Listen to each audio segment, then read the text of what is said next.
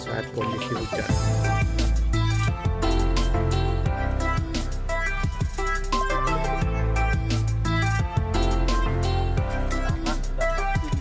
karena eh, memang area perumahan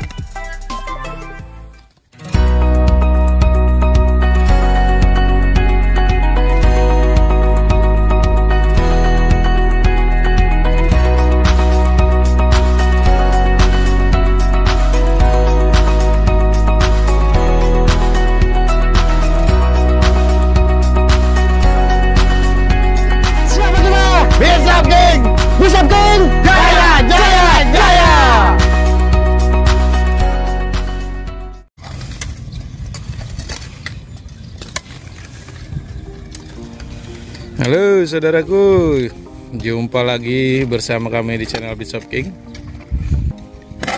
Kami masih berada di kebun alpukat Lampung, kebun alpukat Bandar Lampung ya. Di sini lagi proses pembersihan tajuk di mana tajuknya ini tertimbun yang di mana di part 1 petani gila Bandar Lampung. Melakukan penanaman di lahan persawahan. Setelah itu ditimbun kembali dengan tanah gundung. Dan dengan tanpa pengawasan ternyata batang dari alpukat ini banyak yang tertimbun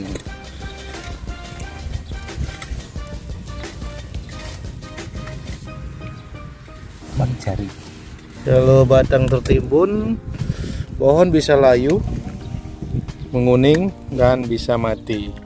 Ini beruntung saja karena cuaca sudah mulai musim kemarau jadi curah hujan tidak terlalu tinggi dan batang dari alpukat itu sendiri bisa terselamatkan.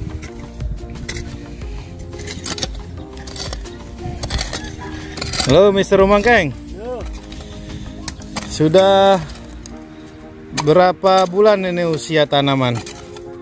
sekitar tiga bulan Sekitar tiga bulan ya Kalau menurut anda sendiri gimana pertumbuhannya? wah pertumbuhannya sangat gejah luar biasa ini tuh saudaraku bisa lihat tuh ya percabangan mupus semua tuh Ini kenapa. Lahan persawahan dijadikan kebun alpukat? Padahal kalau kita lihat di sini persawahannya bagus sekali ya padi-padinya. Ini sudah mulai panen ini. kalau dibilang memang dibilang sangat ekstrim dan nekat ini ini sedikit gila bagi saya karena yaitu lahan persawahan seperti ini ditanamin alpukat kalau dari biaya kalau saya sendiri dengar biayanya udah geleng-geleng kepala sudah di, nggak dimasuk akal. Tapi yang namanya memang hobi berkebun alpukat ya seperti itu. Kalau udah hobi ya tidak bisa ngomong lagi kita. Tapi sih memang untuk tanamannya sendiri alpukat di sini sangat luar biasa mantap. Pertumbuhannya sangat genjah semua. Tuh, dari bibit gede sampai bibit kecil pun nggak mau kalah yang bibit kecil. Bisa dilihat ada macam-macam di sini ada kelut ada yamagata ada peluang nah di antara varietas itu semuanya balapan tuh Eh, pertumbuhannya sangat genjah Jadi intinya di persawahan itu tidak harus memilih varietas apa yang cocok ya beli ya. Enggak. Tergantung selera kita pingin nanam alpukat varietas apa. Jadi pada intinya banyak saudara-saudara itu nanyain untuk dataran rendah apa sih yang cocok? Tapi di sini dataran rendah apa aja ditanam ya? Ya. Kalau untuk alpukat di sini nih memang sangat luar biasa pertumbuhannya. Kalau menurut saya ini eh, benar-benar mantap. Udah dari nanam terus saya mupuk sekali. Nah setelah tiga bulan ini baru ke sini lagi. Kaget saya lihatnya. Jadi kebun ini sebenarnya lokasinya dikelilingi perumahan ya beli ya. Tentunya lokasi ini dibilang sangat mahal harga tanahnya ya. Kalau karena sudah pasti di sini sangat mahal karena uh, memang area perumahan sudah tidak diragukan lagi masalah harga tanah apalagi Bandar Lampung Ya saudaraku, ini lokasi pinggiran Bandar Lampung. Memang daerah sini lagi daerah berkembang untuk pemukiman warga ya.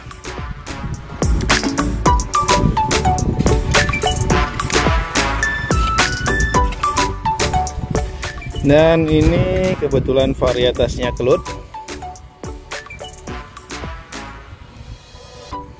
Dibilang dengan usia tiga bulan sangat genjah pertumbuhannya di lahan persawahan yang sudah tertimbun dengan tanah gunung.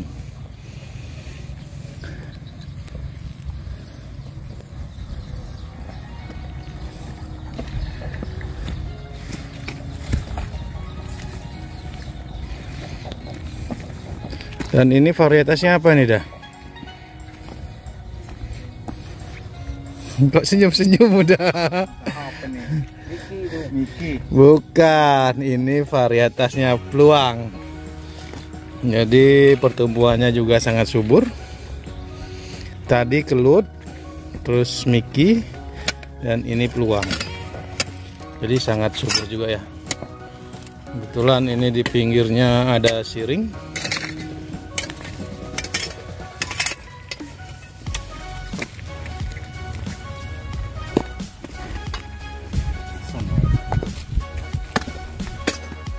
Dan ini varietasnya apa nih oh peluang juga ini. Peluang juga. Nah ini alpukat siger. Ya siger mas. Si batu. Dari Lampung Jadi kalau petani ataupun saudaraku mau berkebun alpukat ciri khas Lampung ini seperti ini pohonnya. Ini alpukat siger satu si batu atau biasa disebut siger mas.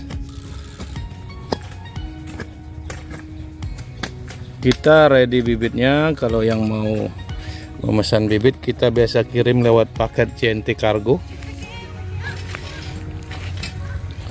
dan ini juga pupus-pupusnya. Sangat bagus.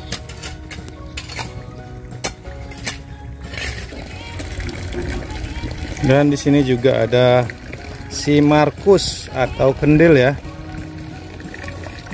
Paling subur memang Markus sendiri itu paling terkenal paling genjah untuk pertumbuhan. Dan batangnya paling besar sendiri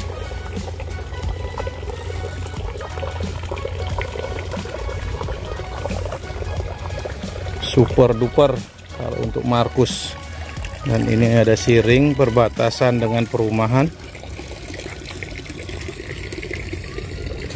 Markus hijau royo royo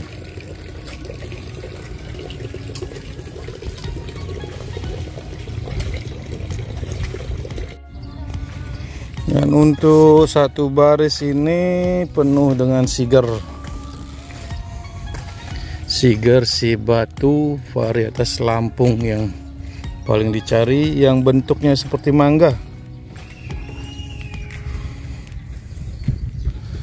Sangat adaptif di lokasi persawahan.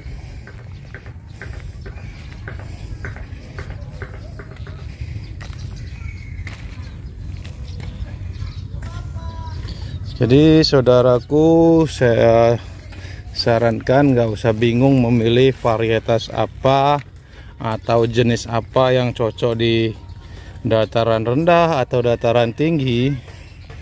Pada intinya kalau menurut kami sendiri varietas itu sama.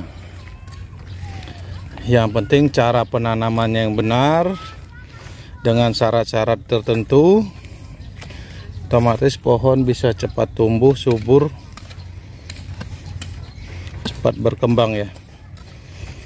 Di sini nih tadinya itu batang ketimbun. Setelah kita rapikan kita bersihkan.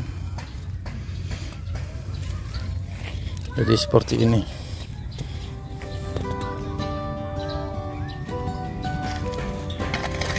Dan ini alpukat Miki tepat di pinggir air.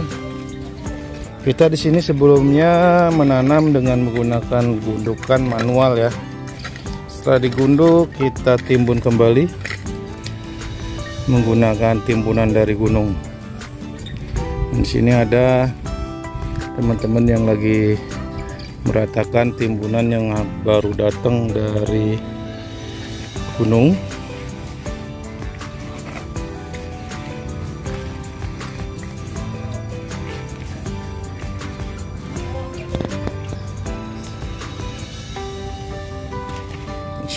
ini lagi. Kalau kita nggak rapikan nggak bersihkan batang tertimbun bisa berakibat fatal. Pohon bisa mati karena batang terlalu lembab di saat kondisi hujan